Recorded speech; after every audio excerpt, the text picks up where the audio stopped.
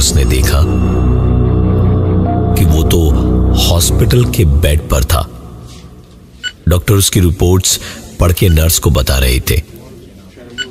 और अतुल की खुली आँखें देखकर डॉक्टर ने कहा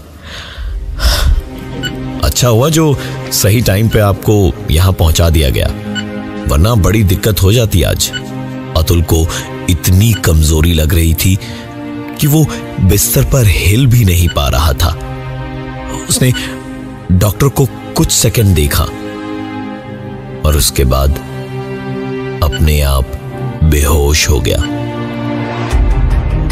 जब उसे पूरी तरह होश आया तो अतुल उसी वार्ड में, उसी बेड पर था। उठ के बैठा तो थोड़ा बेहतर लगा।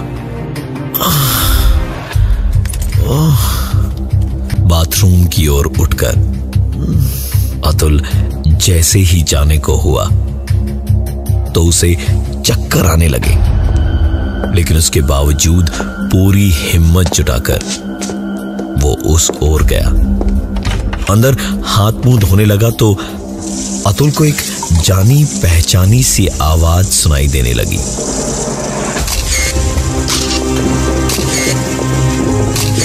उसने नज़र उठाकर देखा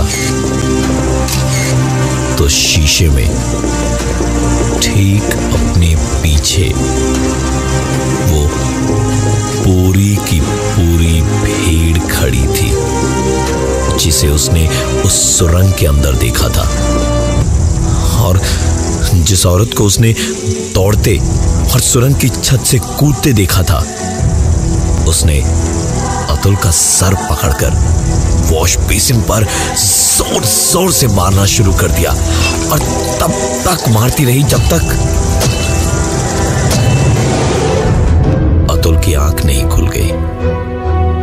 अतुल, अभी भी रेलवे ट्रैक पे सुरंग के अंदर था और दूर से उसे ट्रेन आती हुई दिखाई दे रही थी।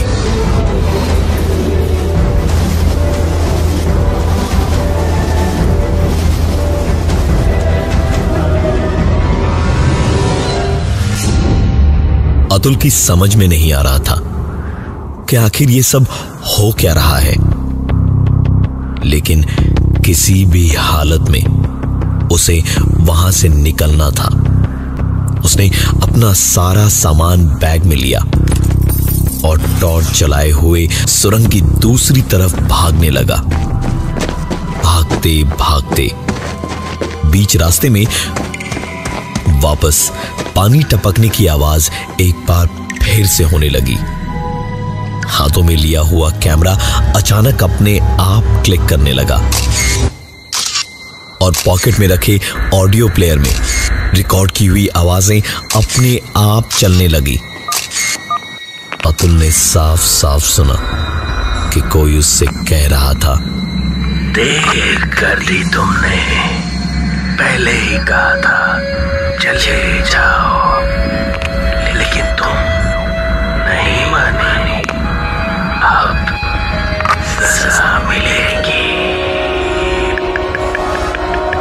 अतुल ने भागने में दिक्कत ना हो। इसलिए वज़न कम करना शुरू किया। कैमरा और स्टैंड का बैग तुरंत उसने फेंक दिया। और दौड़ते वक्त कैमरा उसके हाथ से गिरा। पर उसकी हिम्मत नहीं हुई कि उसे दोबारा उठाए, क्योंकि वो वहाँ से बस अपनी जान बचाकर भागना चाहता था। जैसे ही कैमरा गिरा, उसके बाद से और उसके पीछे से फ़ोटो खींचने की आवाज़ें आती रही और फ्लैश लगातार चमकती रही। टॉर्च की बैटरी कम होने की वजह से धीमे धीमे चल रही थी। और पीछे से कैमरा की फ्लैश लाइट से ही जितना दिख रहा था, उसी में अतुल भागे जा रहा था। भागते भागते अब अतुल सुरंग से निकलने ही वाला था बस।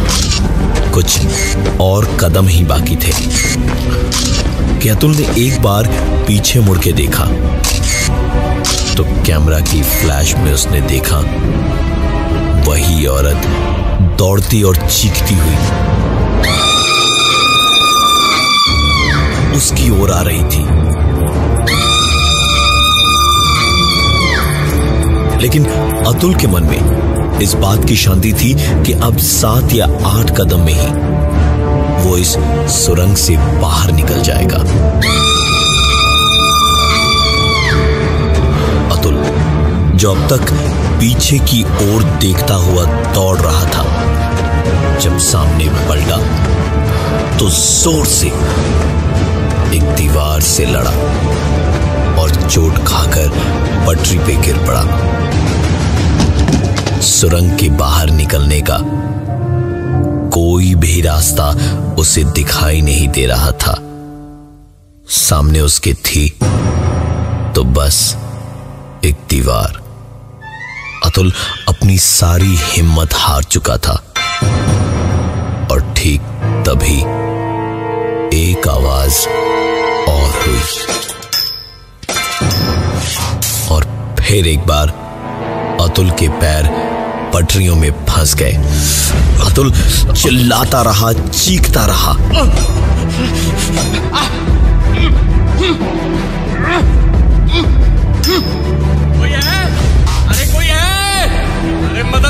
प्लीज़ प्लीज़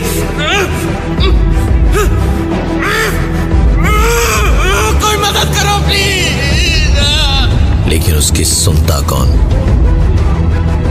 एक बार फिर से ट्रेन के आने की आवाज़ आने लगी। हवा की आवाज़ धीरे धीरे बढ़ने लगी। ट्रेन और तेज आती रही। और उसके कैमरे में एक आखिरी वीडियो रिकॉर्ड हुआ था। वो भी अतुल के पैरों के कट जाने का उस ट्रेन से।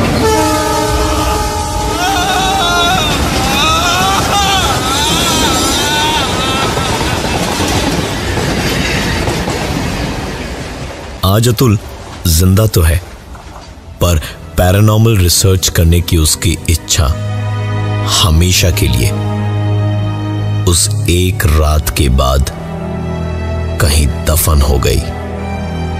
बस रह गई तो उसकी ये दास्तान, जो दोहराने में भी उसकी साँसें अटक जाती है।